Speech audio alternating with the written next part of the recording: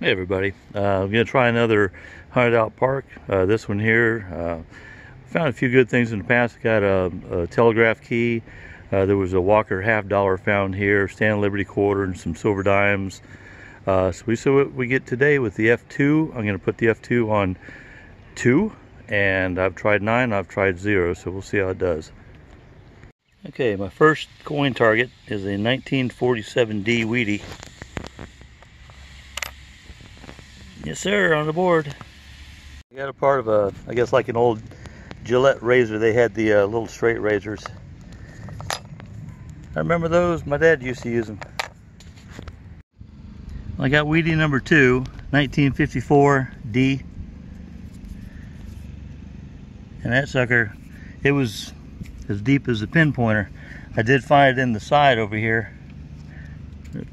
Probably can't see that, but yeah, it's like it was down there. No silver today, two wheats. Just dug up a 1953 D. That's about all you find out here anymore. It's just the wheats, if you're lucky. Well, today really brought me back down to earth. Uh, I was able to get three wheats, but no shiny silver today. But uh, the program really worked good. Uh, still a little erratic. I had to lower my sensitivity but that that park that I went to today was really been uh, pounded.